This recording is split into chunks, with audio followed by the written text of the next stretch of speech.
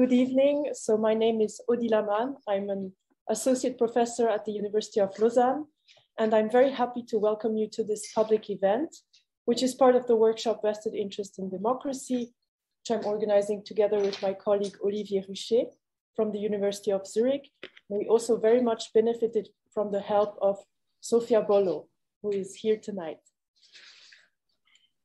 We are delighted and honored to welcome Professor Emanuela Ceva from the University of Geneva, who kindly accepted our invitation to deliver a keynote lecture for a workshop and who is joining us virtually this evening.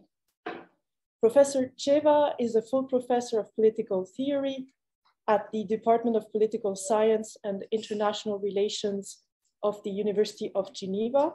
Her research focuses on themes of justice, democracy, corruption, trust, and the political role of moral emotions. She has published widely on these themes, including a monograph titled Political Corruption, published this year with Oxford University Press, together with Maria Paola Ferretti, a monograph which I can warmly recommend. Professor Ceva has held visiting fellowships at the universities of Oxford, Harvard, and St. Andrews, among others. And in 2018, she was a Fulbright research scholar at the Safra Center for Ethics at Harvard University. Professor Ceva's talk is titled Accountable Public Institutions, and it starts from the observation that we believe that public institutions must be accountable, but that we actually struggle to understand what being accountable means. And given the high relevance and complexity of this topic, I, I'm very curious to, to learn more about her research and about her findings. Emanuela, thank you so much for accepting our invitation. We very much look forward to your talk. The floor is yours. Thank you. Thank you very much, uh, Odile, for your very uh, kind and warm uh, introduction. And I'd really like to thank uh, the organizers uh, of the workshop. I was uh, able to attend um, one of the earlier events, and the quality of the talks uh, that I heard was uh, actually very uh, high and stimulating. So it's even more uh, uh, sad for me not being able to be there in presence with, with you tonight and tomorrow. but um, nevertheless, I'm really, really happy to be able to discuss with you um, the um, the state of the art uh, of my uh, own thinking uh, about the accountability of public institutions, which draws on uh, work uh, to which uh, Odile made kind reference in his introduction, that is my work on corruption.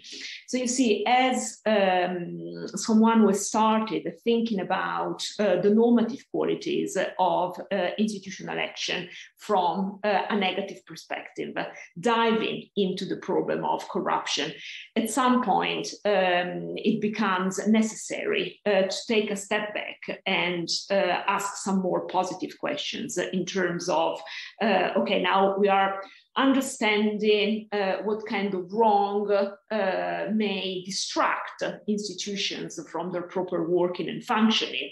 But let's also think about the positive side of the story. Uh, how should institutions be structured internally to work in ways that are appropriate uh, to their to the function that they play uh, in society. And um, I will be starting sharing my screen in a minute, but just to give you a bit of a context, um, this um, the current research I'm carrying out um, is within this framework uh, uh, a contribution to the emerging field of the philosophy of governance. Uh, as uh, those of you who have a background in political philosophy and theory uh, are well aware of, uh, the large part of the normative research in political philosophy and theory has been uh, in the past uh, century um, or so, mainly concerned with uh, the normative ideals of justice and legitimacy of institutions. So when political theorists ask normative questions about the quality of institutions, how should good institutions be, they mean either uh, of the two things. So how should us institutions be structured in order to be legitimate, that is to have um, a rightful claim to authority, or um, how should they be structured in order to be just, that is to be capable of realizing some sort of uh, fair and equal scheme of cooperation in society, provide for social goods, cater for the public interest, depending on the normative theory of justice that uh, people favor. But um, certainly, uh, no matter how um, well um, structured uh, institutions are and well designed they are in terms of their respecting justice or legitimacy, uh, an equally important question is how institutions would be structured in their daily working in order to be capable to stand up to the higher ideas of justice and legitimacy uh, with respect to which they were uh, originally designed. So uh, my current research concerns mainly the normative property of, that characterizing the working of uh, the institution. You may call it uh, the property of institutional well functioning or institutional operability. Uh, I'm still switching a bit uh, between uh, formulations at the moment. Uh, but the question is how the um, working of an institution in its ordinary routine should be structured in order uh, for it to be um, a good institution, in order to stand up to the normative idea that inform its raison d'etre, uh, whatever it is. And one such standard, uh, of which I would like to talk about um, with you today, is the normative standard of uh, accountability. So to get um, a bit into um, the uh, details of um, what uh, I'm thinking about. So as um, Odile mentioned in her uh, introduction, uh, there's uh, my, my thinking here starts from a very basic uh, element of common sense. That is well functioning, whatever a well functioning public institution is, it must be accountable for its action in some way. And um, when I speak about, and when I'll be talking about uh, the well functioning of public institutions, the accountability of public institutions today, I will adopt a very broad and encompassing understanding of what public institutions are. So they would include governmental bodies like parliamentary assemblies, providers of public services, for instance, state schools, hospitals, or job centers, and even administrative bodies, so uh, for instance, tribunals.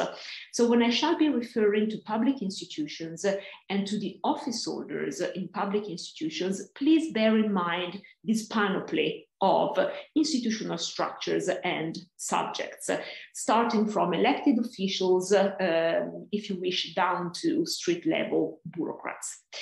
So um, the common sense uh, of which, from which I started basically applies across all these various instances of what institu public institutions are. Um, unfortunately, as it often happens with common sense uh, observations, this common sense easily turns into an epic catch-all claim if we fail, uh, if we fail to provide an adequate analysis of what being accountable means in the context of institutional action. And uh, providing this account, and my view of this account, is my aim for um, this afternoon. So in order to do so, um, the best place to start, uh, I suggest, is by analyzing what institutional action is, quite surprisingly, uh, if you wish. So here, um, I'd like you to um, contrast uh, two views of public institutions. Uh, one view uh, would have um, institutions as mainly structure of procedures so, what an institution is an institution is a set of rules uh, and mechanisms through which public power is exercised. so the emphasis on this view of institution is on institutional mechanisms, the mechanisms through which public office works and functions.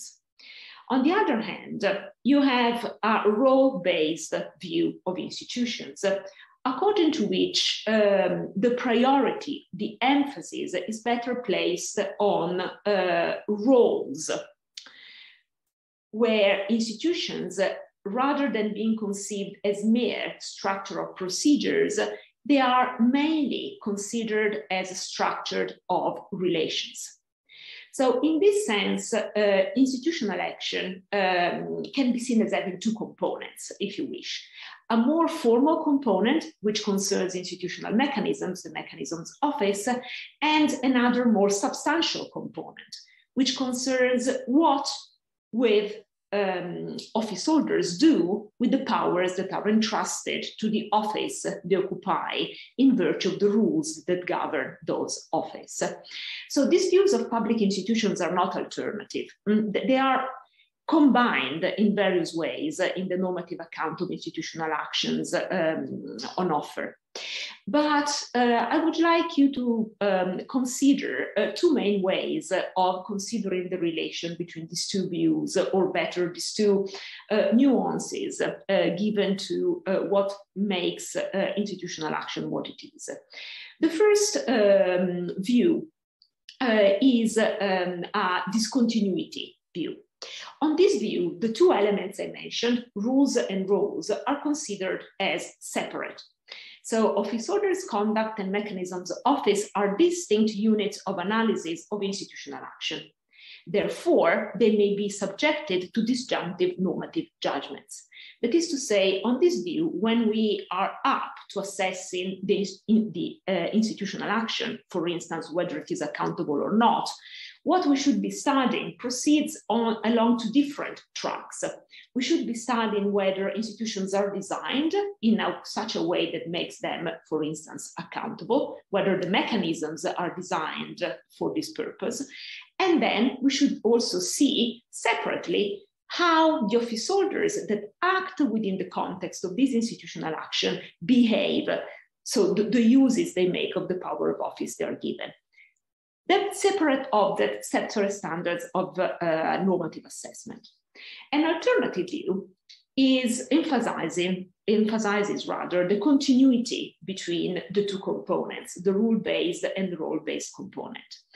On this view of institutional action, office order conduct and mechanisms of office constitute a unique unit of analysis of institutional action. They are therefore subjected to unify normative judgments. And the thought here, if you wish, is very simple. When we describe an institution, it's hardly um, satisfactory simply to go uh, and refer to uh, written rules and mechanisms. If we wanted to describe and assess institutional action, certainly we wanted to see how institutions work concretely. And to say how institutions work concretely, we have no other way that uh, looking at what the holders do within the scope that the institution allows them uh, to do. So um, to uh, illustrate um, why it makes a difference to distinguish between the continuity and the discontinuity view of institutional action, uh, let me refer back uh, very quickly to my uh, previous work uh, on uh, political corruption.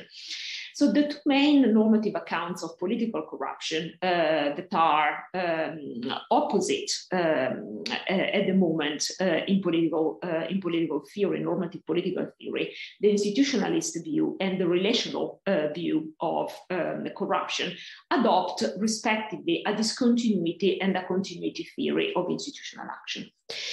Um, so, for the institutionalist theory of corruption, which has been advocated by such uh, theorists as Lawrence Lessig, the, um, Seumas Miller, and uh, Dennis Thompson, um, corruption is a matter of institutional mechanisms. That is, is mainly a matter of institutional design that distract institutions from the pursuit of their defining purposes. So we have a corrupt institution when an institution is governed by rules that distract them from the purposes on which it should be uh, designed to uh, depend. An institution, therefore, can be corrupt even if none of the members do anything concretely corrupt with their action, because it is a matter of institutional design, not of office holders' behavior, discontinuity between, uh, between the two. The standard example given in the literature is that of private electoral campaign financing. So in such countries as the United States, it is perfectly legal for um, people who stand for uh, elections to get money from private uh, donors, lobbies, or even uh, individuals. Um, so when they accept money, they do nothing objectionable.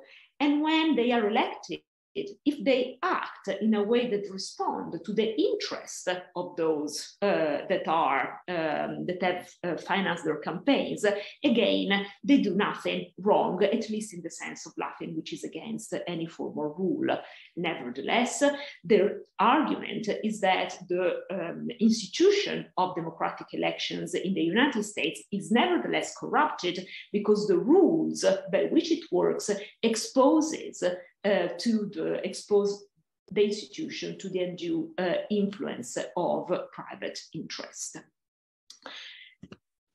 the relational uh, theory, uh, which is the theory I have developed with Maria Paola Ferretti in uh, the uh, book um, I've just uh, mentioned, uh, corruption instead, um, or is also, as I prefer to say, is mainly a matter of office holders' interrelated conduct.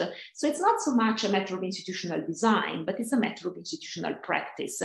What's the thought here? The thought is that, um, of course, uh, there are certain mechanisms, uh, certain rules that may distract an institution from pursuing its purposes or um, satisfying, fulfilling its raison d'etre. Nevertheless, rules only create occasions for corruption. They create the context for corruption. But we have corruption, strictly speaking, only if office holders use the powers of office in a way that is corrupt.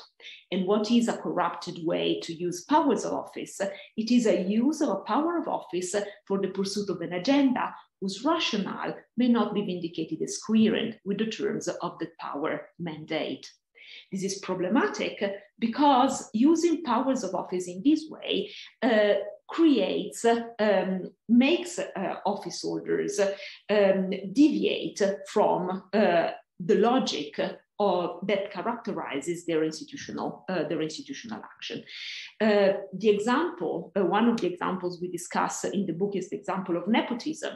So nepotism is an institutional practice that even if it's not formally ruled out by law uh, in many uh, institutions, nevertheless represents a form of corruption independently of the mechanisms, independently of the design of the institution, insofar as it makes office holders use their power of office for a logic which run contrary to the spirit and the letter of their mandate, which, whatever it is, being public office is certainly not that to favor their near and dear ones. So in this way, uh, we can see that uh, distinguishing between uh, the two views of institutional action, discontinuity and continuity, is a very important distinction, not only in analytical theory, but also in practice, because it allows us to make different assessment of the quality of institutional action. It makes us focus on different places, on different loci where political corruption can uh, materialize. Now, um, on this view, and here let me get to uh, accountability more uh, directly. Um, depending on uh, whether we adopt a continuity or a discontinuity view of institutional action, we might end up with two very different views of accountability of public institutional action. And here I would like to propose a distinction between uh, external and internal accountability. Um, just a small uh, aside, um, I'm not a huge fan of dichotomies in general. Um, I believe they tend to oversimplify the complexities um, of uh, the objects of investigation, especially uh, when politics is at stake. So, although you'll be seeing me uh, and you've seen me uh, dividing uh, my discussion into pairs, um, I do not consider necessarily them as dichotomical. So, I'm really happy to accommodate uh, other forms um, of, of theory and accounts of institutional action here here. These are just two that are relevant. So again, you may have a different understanding of accountability and that might be relevant for institutional action and maybe uh, we may want to discuss them later on. But there are at least two ways in which we can conceive the accountability of public institutions, which is very important to identify and distinguish. External accountability is a kind of outward looking accountability Internal accountability is a kind of inward looking accountability. What do I mean by this? So, outward looking accountability um, is um, typical of a rule based view of institutions, which uh, allows uh, and uh, champions for a distinction between institutional rules and institutional actions and roles.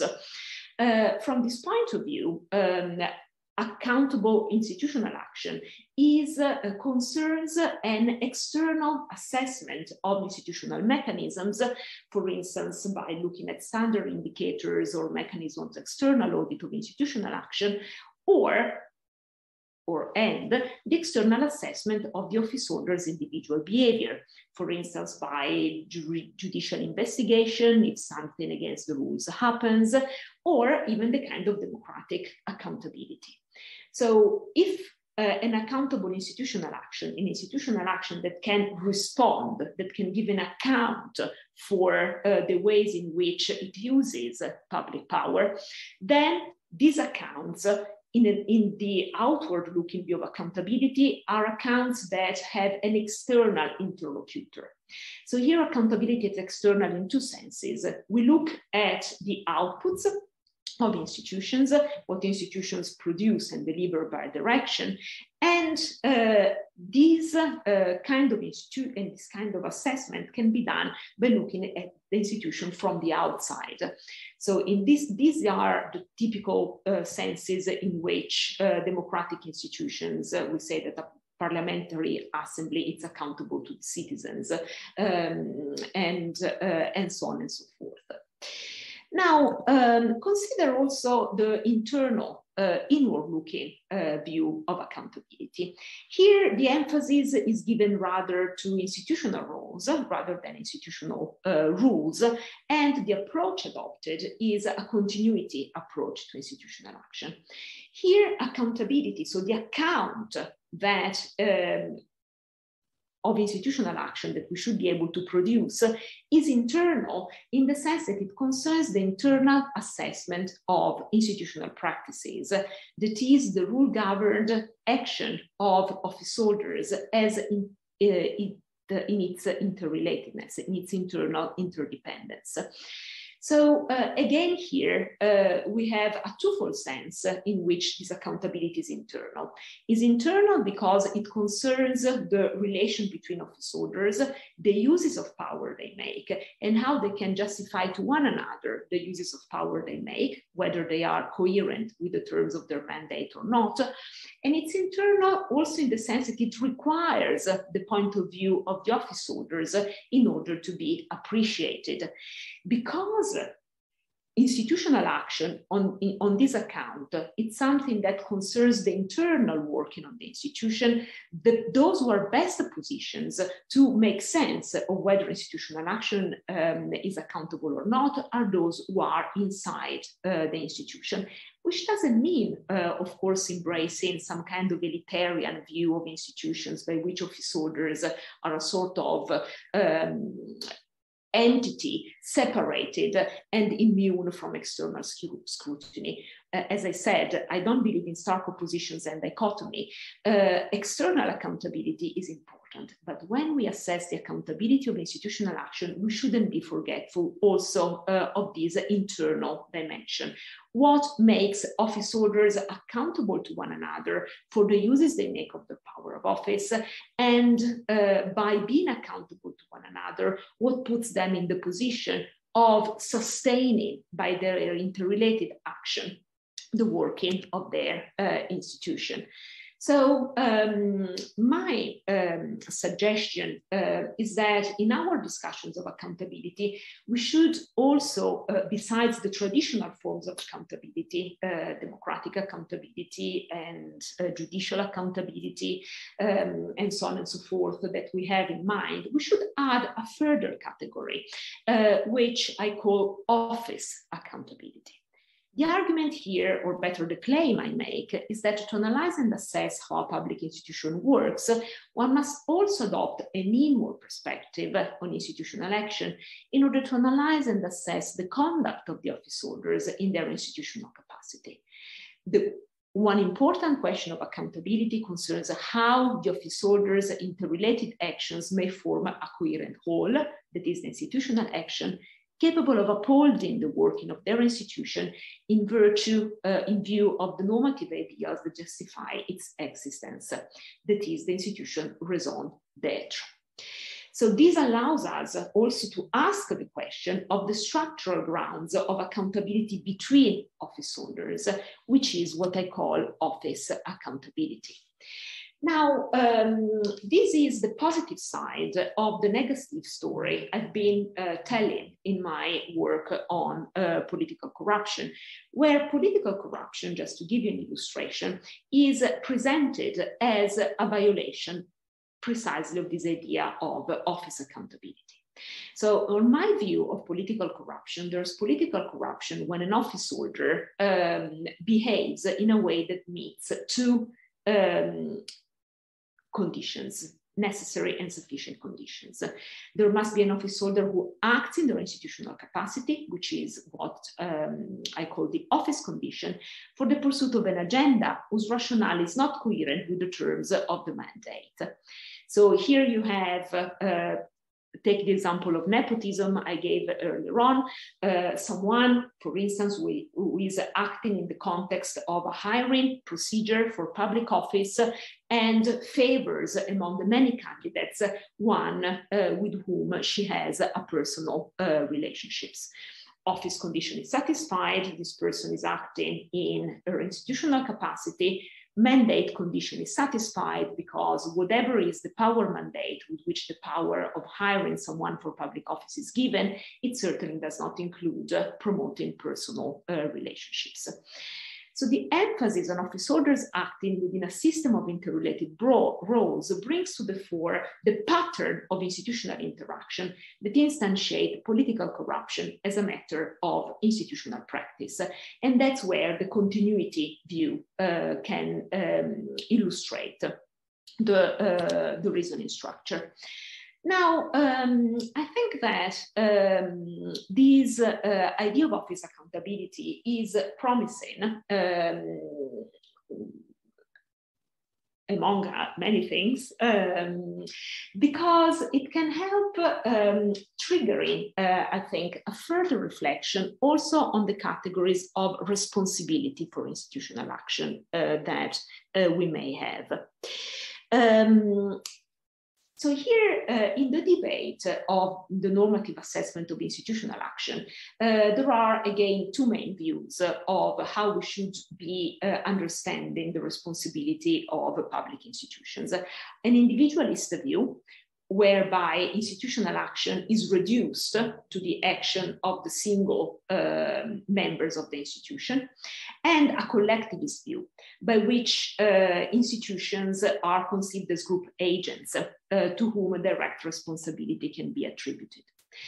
And in general, um, the, uh, the exercise of attributing responsibility for institutional action is very difficult because given the complexities of institutional action, it is really not clear how to assign the moral responsibility for institutional actions and also dysfunctions.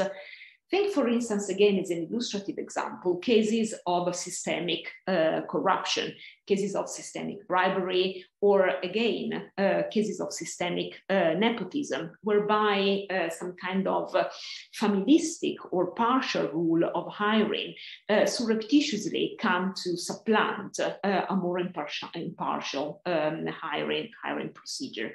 Now, it's very difficult in these cases to establish the responsibilities for what makes institutional action fail and derail. And that's uh, because um, sometimes this process of deterioration are very gradual. Sometimes uh, uh, office holders change over time. So those who initiated the process of corruption or deterioration are no more in office uh, when the corruption has become systemic or even because certain people just come in in medias res and they're not even aware that they are participating in corrupt practices. Also, there is also a certain degree of self-deception that office holders might uh, put in action when they are a member of a systemic, um, a, dis- a, systemically dysfunctional system. And this is true for corruption, for injustice, and for different forms of institutional uh, failures. Now, um, so in these cases, we have the problem that Dennis Thompson has defined as the problem of the many hands. Uh, so when different hands contribute uh, to um, realizing a certain state of affairs in such a complex way that, that, the contribution of the different hands cannot really be disentangled. But then there are also epistemic problems I was mentioning, various forms of tenting reasoning, like for instance, self-deception. Now, um, on these, uh, um, against this background, uh, it seems that uh, both individualist and collectivist views of responsibilities face, face some serious problems. Individual uh, view of responsibility that try to single out the contributive responsibility of each single individual of a certain systemic state of affair tend to fare uh, quite badly in terms of assigning backward looking for responsibility for the many hands problem I mentioned uh, a few minutes ago. Although they may, they may fare better in terms of forward looking responsibility, because if we search for individuals, then it's easier to uh, single out who is actually responsible, for instance, for remedy. Hmm? You might not have been responsible for causing the corruption of a system, but because you are here uh, and now you can be responsible for remedying it and making sure the corruption doesn't happen anymore. On the other hand, collective responsibility might fare better in terms of backward looking responsibility, because if we're capable of saying that institutions are collective agents, group agents, then they can be collectively responsible for uh, this type of, um, this, for the type of dysfunction we, uh, we consider. But it's very difficult to establish forward looking responsibilities because to say that the institution as a whole is responsible for remedying a situation um, seems to be very very vague in terms of uh, prescribing what kind of remedial actions should be taken. So my suggestion is to integrate also a third form of responsibility, which is interrelated responsibility. Interrelated responsibility is a sort of a um, combined kind of responsibility because it's the responsibility that the office holders bear as a group, but made of individuals. So it's not assigning uh, responsibility to an opaque collective agents and not simply holding individual office holders responsible for a systemic failure, but it's a matter of holding um, office holders as a group of interrelated agents as interrelatedly responsible for the failure of or success of institutional action. Office holders in this sense can be held individually morally responsible, but as they are a part of an interrelated group of agents. In this sense, uh, we can assign both backward-looking and forward-looking responsibilities for institutional action and institutional failure. The backward-looking responsibility concerns the office holder's failure of um, being accountable for their action in their institutional capacity. And this may mean uh, two things. They might either be responsible because they themselves failed to uh, act in a accountable way, that is, by um, pursuing by their action an agenda that is coherent with the terms of their power mandate. So, for instance, because they were the agents of nepotism, but they can also be backward looking responsible if they fail to hold the other office holders accountable for their action. So if my colleague makes an nepotistic use of uh, their power of office and they do nothing, and um, if I suspect something, or even if I don't suspect anything, just simply by um, standing uh, by your side and taking responsibility for institutional action myself, I may be implicated in uh, the institutional dysfunction at stake. And forward-looking responsibility, of course, concerns the remedy for uh, deficit of office accountability, the kind of action that office holders uh, as a group of agents are expected to take for institutional function and dysfunction. Uh, I call this um, the practice of answerability, uh, which is uh, the translation in practice of the duty of office accountability, which characterizes and defines um, well functioning institutional action. So, um, when uh, such uh, institutional dysfunctions as political corruption occur, office holders should engage as a matter of duty of office in good faith in practices of answerability. So here, uh, if you wish, I think um, we have the ground for distinguishing between three concepts which are often mixed uh, in discussion. Accountability, which concerns uh, the primary duty of office, office orders acting in keeping uh, with the terms of the power mandate. Answerability, which is the practice by which office orders check upon each other uh, to sustain jointly together the functioning of their institution and responsibility, which is the kind of attributions, the call to action that we make to office holders and an interrelated body of agents. Accountability, answerability, responsibility have clear uh, and differentiated meanings uh, in this sense. So uh, these practices of answerability are mainly conceived as communicative justificatory practices that office holders, through which office holders can assume responsibility for the failure of the institutional action take corrective action and therefore sustaining the working of their institution. And uh, this is a sense in which we can reconceive, for example, uh, anti corruption uh, in a way that uh, internalizes the efforts of office holders to uh, react uh, to this type of institutional dysfunctions how different possibilities are on offer here. We may discuss them later if you, uh, if you like, but think, for instance, procedures for internal whistleblowing. So channels through which uh, the members of an institution can um, flag possible deviations uh, from uh, office accountability and therefore uh, initiate a process of self-critical appraisal uh, of direction as a joint uh, body of uh, agents. So um, again, negative side of the story, political corruption is a deficit of office accountability. Uh, and what I've tried to do is to show how, by reference to such dysfunction as political corruption, as a deficit of office accountability, we can work a positive account of how institutional action should be structured in order to realize a specific but important form of accountability that is office accountability, which uh, by making office orders respond to each other for the uses they make of their power mandate, mobilizes the internal resources that an institution has to be well functioning. So thank you very much for your attention and I'm very much looking forward to comments or questions that you may have.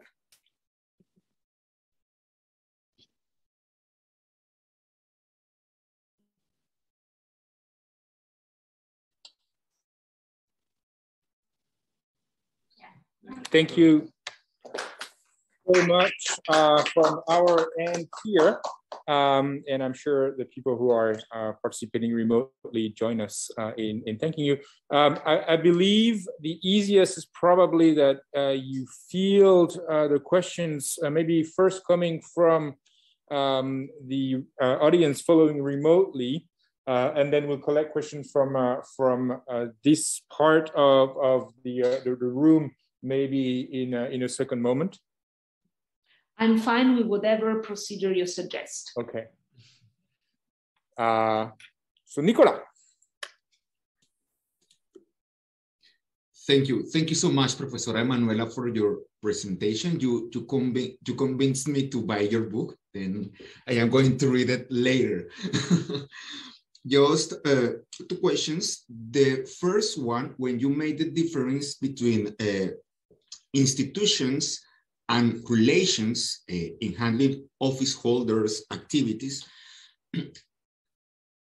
I do not know if you make a difference between relational, uh, a relational perspective and an informal institutional perspective.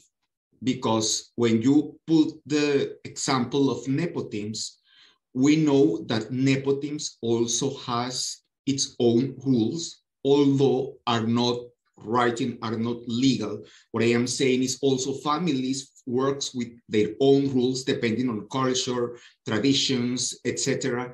Then it is possible to make a difference between informal institutions, those that are not written, are not legal, but those that have uh, rules in a way, it is possible to make a difference between informal institutions and relational, uh, uh, relational behaviors or not. That's uh, the first one. And the second one, when you uh, spoke to us about uh, interrelated responsibility, you also uh, mentioned the relevance to see a little bit more whistleblowing processes taking into account your perspective of uh, uh, normative theory, how we can improve whistleblowing processes in cases of systematic corruption. What I am saying is it's very easy to say, just blow the whistle, but we know that uh, people do not blow the whistle because they are fear of retaliations or maybe because they think that nobody is going to believe in what uh, they are saying, then in a normative perspective, there is also a way to think on how to improve whistleblowing processes or whistleblowing actions. And thank you so much again for your presentation, Professor. Thank you. Um, can I respond question by question? Yes, please. Yes. Okay, thanks. Excellent. Um, so thank you very much. Um, so uh, concerning the first um, the first question, uh, very interesting. Um, so here, um, that's a part of the problem with when one speaks about um, institutions, uh, right? Uh, because um, if you have a view of institutions as um, some kind of rule governed practice, uh, then that may apply uh, to all sorts of uh, human better configurations of human action uh, that are structured uh, somehow. And this brings the question of informal and um, formal and informal institutional action. So um, everything I uh, said in terms of the accountability of institutional action um, in my uh, talk concerns formal uh, institutions. So the institutions um, I had um, as, as an object of of analysis, where the fairly large set of institutions I mentioned at the beginning, going from governmental institutions to administrative offices uh, and so on and so forth. It is true that within the framework of these formal institutions, informal um, institutions, in the sense of practices, uh, may uh, develop. And in fact, sometimes, and that's the interesting thing about corruption, they can come to replace the formal rules by which institutions uh, function in such a way that really transform uh, institutions. They're uh, not so much in their purposes, because sometimes they may end up delivering the same kind of, of goods or service, but their internal working. Um, so um, in this sense, uh, I think that there is much to explore in terms of the relation between the internal, uh, between the formal and informal dimensions of institutional action. It is not a distinction that tracks, uh, however, the distinction between institutional action and office holders relations. Because again, even in the case of the office holders relations, you may have informal and formal office holders relations.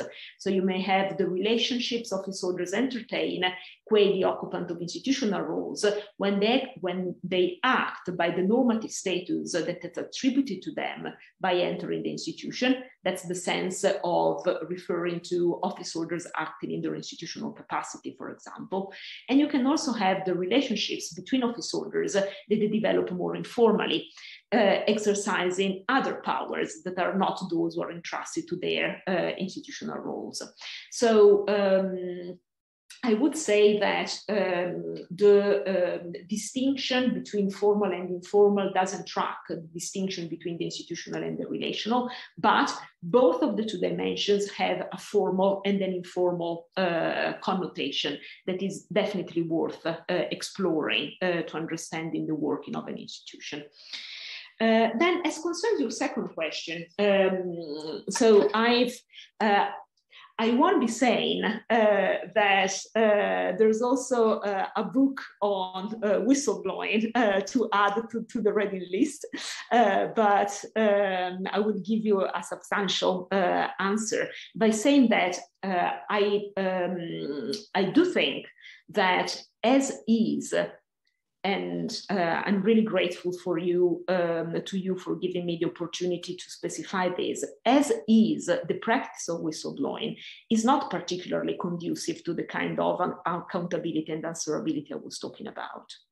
And the reason why it isn't is because uh, at the time, under the current circumstances, whistleblowing is mainly uh, an individual act of resistance so in most of its manifestations, whistleblowing uh, manifests itself to the action of an individual office holder, uh, Chelsea Manning, Edward Snowden, um, or many other more uh, everyday whistleblowers that uh, for reasons of conscience, sometimes integrity or justice, decide to um, counteract some kind of uh, wrong that is happening within uh, the institution where they work. Uh, the kind of whistleblowing that is actually conducive to the form of accountability I have defended is actually an institutional practice. So it's a practice which is standardized and that does not see whistleblowing as a more or less praiseworthy act of an individual who stands up against some kind of dysfunction, but it's in fact the mobilization of holders, again, as an interrelated group of agents that takes in their hand the institutional action. And I think that is very important. Otherwise, we end up having a very over demanding account of whistleblowing that treats whistleblowers, sort of sacrifices the action of some individuals uh, on the altar of institutional action. And that's a moral demand that cannot be placed on anyone uh, reasonably. Great, thanks very much. Uh, we have Chiara Valsangiacomo on the list. Chiara. Ciao, Chiara. Yes. Hello. Hi. Ciao. Ciao, Emanuela. Uh, it's nice to see you. I'm very happy. It, it's very interesting to keep following the development of your research. And as always, you gave a very clear and um, and concise presentation. So thank you for this. I have two small uh, question of understanding. One regards the method and the other one regards the scope of the research.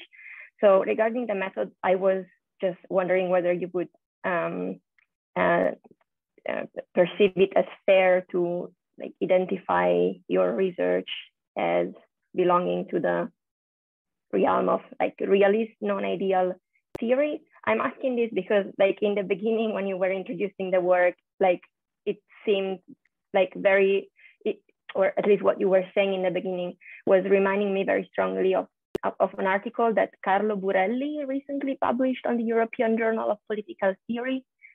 So, and the, the article is about like functional political normativity. So this idea that like political institutions um, have um, like that that um, like there that there are functions that that political institutions have functions that alone like independently of like any moral considerations have like this prescriptive force. So it seems exactly uh, or it seems very similar to like the methodological assumptions that you're making here in your research. So i was wondering if you would agree with this. And and then the second question about the scope is um, I had the feeling while listening to you in the presentation that, so I think it's clear. So it is obvious as a premise. I think it is obvious that you're interested into uh, political theory, and of course your framework applies uh, at the moment to uh, political institutions. That's uh, uh, crystal clear. But uh, while I was listening to the presentation, I had this feeling that actually everything you're saying could be just as well applied to like corporate governance and I don't know if there is like, and I, I, assume you don't discuss this also in the book. I, I apologize if that's the case and I don't know this. Uh, so I was wondering if there is a reason like beyond your um, mere like intellectual interest, uh, why you're not discussing the applications more for like private institutions. So that's it. Thanks. Thank you very much, uh, Chiara. As always, very uh, spot on questions. So I, will start from the second, uh, just because it's easier. Uh, no, it's easier. No, it's it's uh, my answer is quicker, and it's uh, I totally agree with you, and I'm actually very happy that you think that. so the reason why I haven't been discussing um, the um, implications or uh, the possibility to extend um, these analyses uh, to um, non-public, which includes um, private or even semi private or semi-public uh, institutions, so private providers of public services, for example, uh, it's uh, entirely biographical. And it's due to the fact that uh, my main uh, work uh, on these issues so far have been um, carried out, um, as Odile had mentioned, with, with, Maria Paola Ferretti, and we do disagree on this point, while we don't disagree on others. So, so far, we sort of moved on the areas where we agree rather than where we disagree. And the reason why we disagree is that I do believe uh, that this account has also something to say in terms of um, non-public uh, institutions. Um, and the other biographical reasons why uh, this, has, this hasn't been studied so far is that it's just uh, the next item in the agenda. So my next phase of the research um, and I've, I've, recently put in a, a, an, application to the SNF uh, precisely on this. Uh, so asking the extent to which uh, this account of institutional action can also make sense of um, non uh, purely public um, institutions and also the corruption of non purely public institutions. So I'm really glad that you see uh, these analogies, uh, and we'll be talking again about this uh, if you like. Um, on the other hand, I must totally disagree with the first um, methodological comment uh, you make. So uh, I can't think of anyone further from a realist approach to political theory than myself. Um, so I've had endless discussions with Carlo, with Enzo uh, Rossi, Matt Sleat, and, and, all the crowd. Uh, and simply because, but that's perhaps my problem, I just don't think there's anything like a realist normativity. Um, so um, uh, and, and again, this is uh, an object of, uh, of a paper on which I'm working at the moment, um, where I, I do totally agree with, because you said a methodological realist or non-ideal normativity. So certainly uh, what I try to do is to develop a non-ideal account of the sources uh, of normativity, which has some kind of practice dependence uh, into it. But it's not just like the kind of normativity that emerges uh, out of positive institutional practice as some practice-based uh, dependent account or realist account would have it. Uh, this has more to do with the normative features of institutional action. So it's an internal kind of normativity which can emerge in institutions because institutions are structures of role of the kind I have, uh, I have described. So uh, there's a certain sense in which it's not totally idealized as a Rawlsian uh, normativity would be, uh, but it's not um, realistic in the sense uh, of being practice dependent uh, as the realists have it. Another thing uh, which um, also uh, needs clarifying. So uh, I said at the beginning that I'm still torn uh, between the usages of how to call um, this the property institution have when they work well. So in some work I called it well functioning. in some work in progress are doing, for instance, with Michele Bocchiola, um, we call it the operability of an institution. Um, and that's mainly because we don't want to uh, give the impression that we have this kind of functionalist account. Because you see, this functionalist account of institutions uh, follow some, a, a, kind of etiological uh, view of institutional action for which institutions are built for a purpose and the purpose defines the institution as they are. And this is very different from the kind of internal logic uh, I'm proposing uh, in, in the work. So that's why I'm, I'm not still comfortable with labels, um, precisely because I wouldn't want to raise um, the, the um, impression that there is this kind of analogy where this analogy, in fact, is not there. Um, so um, again, uh, there is more to come uh, also on this uh, on this topic because it, it's a very important one. It's not just terminological; it, it, it's substantial uh, or methodological, methodological, as you put it. Very good. Uh, we have one question on the chat uh, from Denny Ivanov. Um, I was wondering about the time dimension of the story since formal institutions are usually sluggish to change. Uh, is it the same for accountability? Under what conditions can it change, crisis, etc.? Yeah, uh, thanks. That, that's the, the, time dimension of institutional action is very um, important and is very interesting um, for uh, uh, under at least two uh, two aspects. Uh, one aspect concerns uh, the internal coherence of institutional action, precisely because on my account of institutional action, institutions are more than roles and mechanisms, but institutions are the interrelated action of the office holders, but because um, the concrete individuals that fill institutional roles vary uh, over time, there's a, a problem of consistency in describing institutional action. And, um, and this is an open issue. Uh, it is an open issue um, which requires a further research. Um, and um, I'm really not sure what direction to take there, uh, but it's certainly uh, in terms of describing institutional action, it's really very important. The other um, dimension in which time um, is important, uh, which was perhaps uh, the one more directly suggested in the question, concerns um, institution, um, a kind of inertia uh, that characterizes institutional action. And so institutions tend to reproduce themselves and their standards.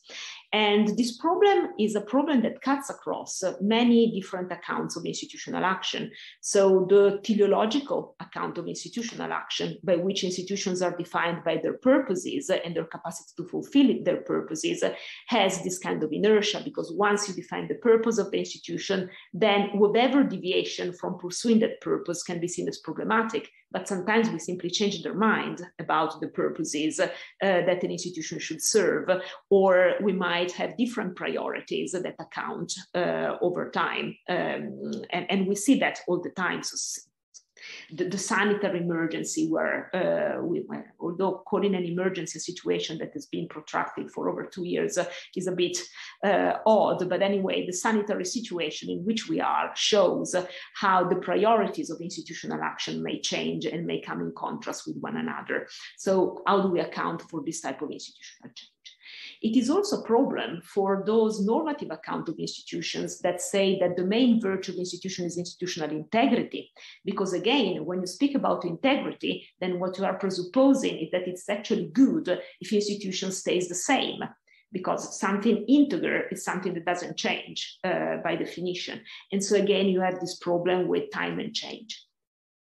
So uh, some people uh, think that also uh, my view of institutions as based on an institution's raison d'etre and power mandate is open to the same kind of problem. Because if we define um, a well-functioning or an, uh, an, operational institution as an institution that um, whose constitutive office holders use the power of office in keeping with the terms of the power mandate, then you say, well, power mandates are fixed, and therefore institutional action tends to be, uh, even in this case, static. But here uh, I, uh, I would want to respond that unlike institutional purposes or institutional functions, an institution's raison d'etre is in fact uh, open for uh, discussion between office holders.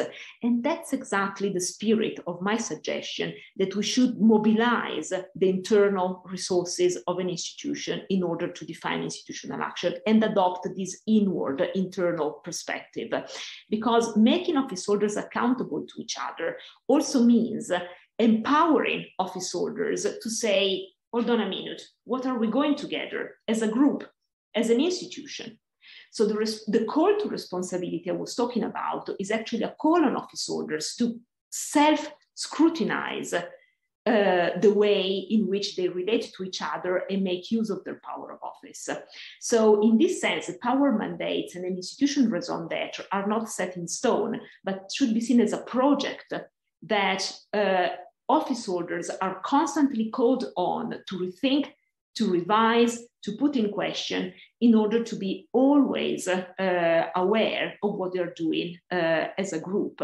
And precisely these communicative practices of self of self-reflection are the internal sources of normativity to which I was referring in my earlier response to, um, to Chiara. So I'm very much conscious of these uh, of, the, of the need for institutional action to be sensitive to um, change over time. And I think that this dimension that calls on office holders uh, to uh, always be alert, uh, asking the question, what are we doing together? As the definitive moment of institutional action as a project is uh, um, a promising way to go. Great, thank you. Uh, Antoinette Chertz is on the list. Yes, thank you so much for, for the very interesting talk my question um, goes a bit maybe beyond the, the field of, of um, what you've been talking about towards questions of accountability of international institutions. And I think one of um, the most important critiques of, of accountability of international institutions is often that we see accountability mechanisms, but they are very much based on the mandate um, of the institution and of the states who are actually creating the international institutions. And so we see an, account- an accountability of these institutions towards those states who have created the institutions, but often the institutions are not accountable to other groups um, over whom they have a lot of power, right? So we see that they they come apart here. And I was just wondering whether you think your account um, can also bring resources to that problem or whether you think that that is a whole different issue um, on the international level.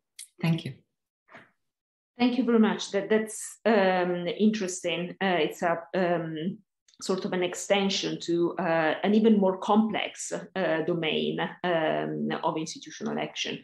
Um, so, uh, on the one hand, I would say that um, it seems that um, one diagnosis of the problem you were um, pointing at is a diagnosis that requires rethinking the categories of what I called outward looking um, responsibility or external uh, accountability or external accountability.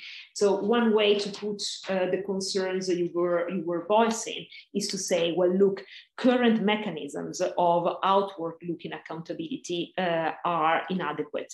They're inadequate because they uh, call well, in fact, um, now, now, that I think of it, I it's actually very interesting because what you said uh, could be saying that the current state of affairs privileges inward looking accountability with respect to certain types of mandates that are internalized uh, in the institution to the detriment of certain kind of outward looking accountability, uh, which concerns um, people uh, over which um, the uh, action of those institutions has an impact, although they did not contribute in defining uh, the, man, the mandate.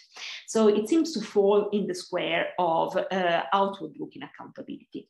However, I think that even in this case, uh, an inward looking practice of accountability of the dialogical kind I was suggesting can actually be um, conducive again to problematize this kind of issues. Because you see it, it's really this hold on moment uh, that i think is crucial uh, to initiate to trigger these practices of accountability. The idea that um, office holders those who perhaps have the feeling the perception that there is something lacking in the kind of accountability uh, of their institution have the opportunity to call their colleagues uh, to action to initiate a problem of um, a, a, process of, problem, of problematization of what of what they're doing. So probably I think that the the, pro, the problem you have pointed out is so complex that would um, require to be addressed um, effectively both a, a rethinking of the terms of external accountability, so the accountable to whom question made um, made uh, broader and also see the extent to which uh, opening the space for internal uh, criticism internal self-scrutiny may open a breach that can actually help uh, revising uh, practices of accountability from within not only from the outside. Very good. Um, i think uh, I can't see anyone else uh, on the on the uh, on the list here. So uh, Odile Ammann, who's next to me, has a question. Just just stepping in. Yeah. Yes, thank you. So as you know, I, I come from a legal angle, and so perhaps my, my question will be will be obvious to you, or or, or will not be uh, what you are mostly focusing on. But I am interested in uh, how you talked about these internal mechanisms of accountability and these justificatory uh, practices, which should be uh, encouraged within the institution. And what I keep asking myself is how can we really create incentives for the institution to change from within if there is no external trigger or some kind of scandal or pressure coming from citizens. Because if the, the institution is forced to change due to an external factor, I, I can really see potential for, for evolution. Uh, also, if something is clearly illegal, then the institution must change. But how can we trigger this change from within, given how uh, inter, interlinked and entangled these interests are sometimes. And this also applies to not just to parliament, for example, where parliamentarians must decide whether to lift the immunity, for example, of an MP, and they are all colleagues, they all know each other, and it's really hard to, you know, to, to go beyond these personal networks and to really decide something that's effective. And this also applies to other institutions like, uh, uh, for example, a, a, higher education institution where there are conflicts of interest and, and uh, the, these are colleagues or, or any kind of institution where there is this proximity between people. How do you go, how do you deal with this difficulty? Thanks. Uh, no, that, that that's a very important um, question. Um, I would um, I would probably want to say two things um, in response. Uh, so the first thing um, is a more straightforward um, reply to the question. So. Uh, how do we go about uh, triggering uh, this kind of uh, changes from uh, inside? Um, and that's um, and this sort of brings us back um, a little bit to um, one of the, the initial questions. Um, so Nicolas' uh, question also in terms of uh, whistleblowing and how uh, internal practices or the internal action of individual office holders can actually be uh, protected in such a way that if there is uh, one um, office holder or a group of office holders within the institution that senses that something is off, can actually has the instrument to initiate this kind of change without um, making uh, a huge moral sacrifice. Because certainly the answer to your question cannot be um, the goodwill of individuals and that would be, if you wish, a sort of virtue uh, theory of institutions. Perhaps some old fashioned Republicans would say, well, it's a matter of the virtues of a soldier that should stand up against uh, uh, these dynamics. But, but that's, that, that's not the direction I want to go. So, a first thing would be that there's um, an allegiance between internal um, forces and, inter- and, and, internal forces, such, such that um, conditions can be created to um, open up channels and inaugurate um, forms, uh, institutional practices that can actually sustain the action of individuals when individuals decide to come uh, to come forward. And that would be uh, the more um, operative uh, answer um, I could give to your question. But then there's also a more um, structural or uh, um, theoretical answer, um, if you wish, uh, which uh, concerns um, a distinction that to me is very important, which is uh, because this goes again the different categories of responsibilities I've tried to distinguish um, especially in terms of backward looking and, and forward looking um, action. And here, I think it's uh, very important in this kind of context, given the complexities you were uh, mentioning, to distinguish between the source of uh, the trigger for a certain action and uh, so, who initiates the change? Hmm? Where does the force to initiate the change come from? And on the other hand, who is uh, entrusted with the responsibility to carry out the change? And they don't really have to be the same person. So, where I think uh, current uh, approaches to correcting institutional um, actions um, uh, are uh, a little wanting is that they tend to identify these two elements by outsourcing entirely the task to external agencies. So, external agencies, oversight commissions uh, should start investigations and they should also, to say the least, supervise office holders while they carry out the actions which are imposed or proposed, if you want to be more charitable, from, from the outside. While um, what is a clear, I, I hope, implication of my account is that the trigger may still be external because sometimes, as you perfectly explained, there are such mechanisms that are so entrenched um, that it tremendously difficult to discard them and to initiate the change, even to detect them from the inside, also for the mechanism of self deception and adaptation I was referring to. But once this diagnosis is carried out, then uh, it's uh, internal agents were entrusted with the responsibility to carry out the therapy. So the diagnosis may come from the outside, but the agents of the therapy must necessarily also involve individuals inside. Otherwise, there's this dimension of accountability and forward looking of, of responsibility, which is frustrated in a sense that I think is detrimental to uh, the operability of an institution. Very Thank good. Um, no, Arno uh, Schenemann for what I think is going to be the last question today. Arno. Um, thank you very much. Well, I unfortunately I pressed uh, applaud instead of uh, raising my hand, but that's not to mean that I'm not applauding afterwards. Um, maybe you have touched upon this point already in your answers to um, uh, Odile and Nicola.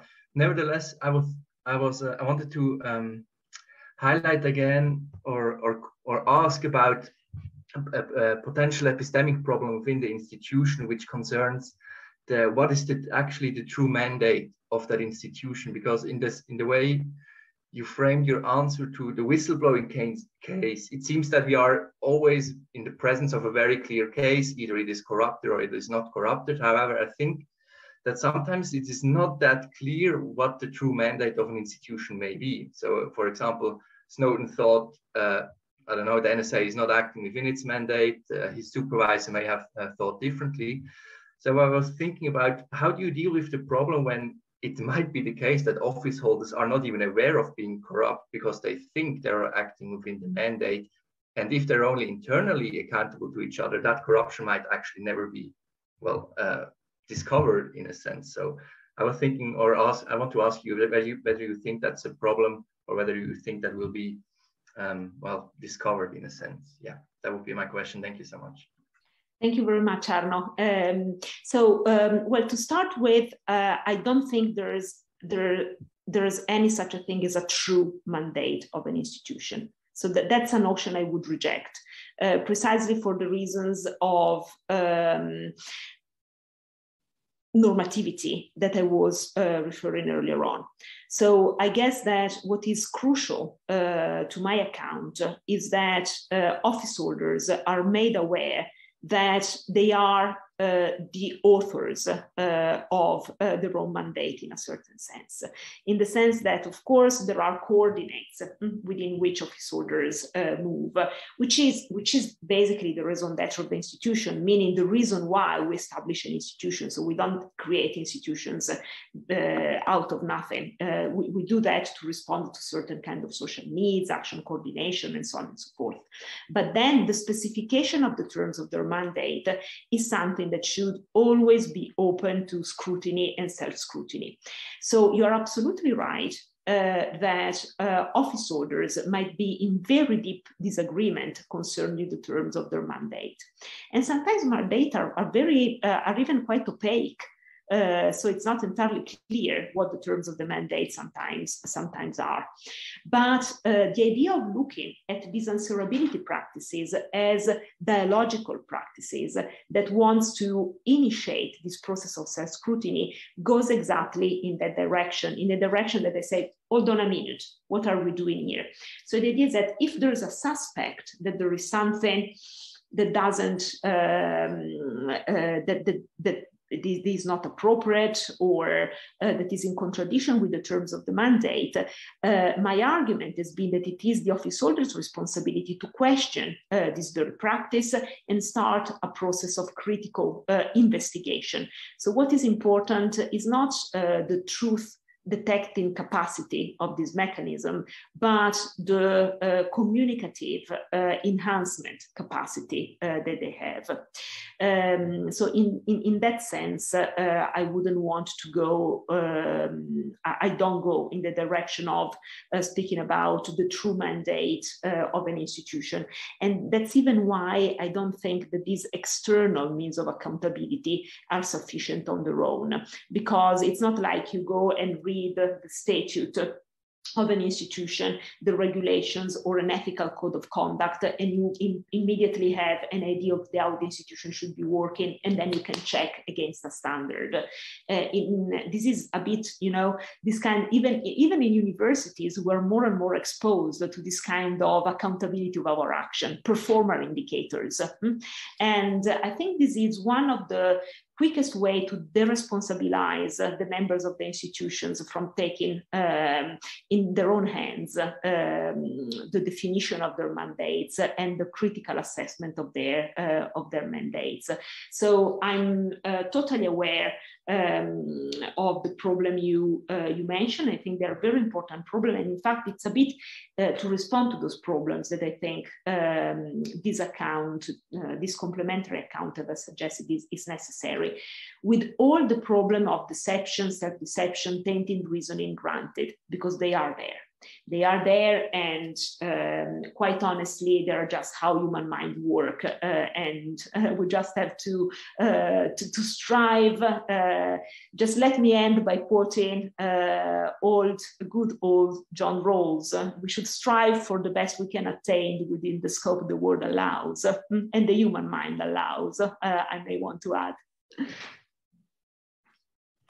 what a conclusion this is. Uh, thank you so much, uh, Emanuela, for being with us uh, this evening. Uh, thank you for uh, such an engaged lecture uh, in the name of all of us present in the room.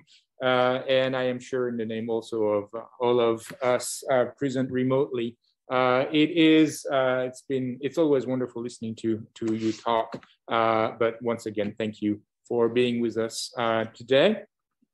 Thank you very uh, much. It was uh, it was fun. Uh, so just what I needed to uh, end a very difficult and eventful day. Uh, this is, was a very very pleasant way to end it. Excellent. Well, all the best uh, to you and to everyone. Have have a great evening. Goodbye for now.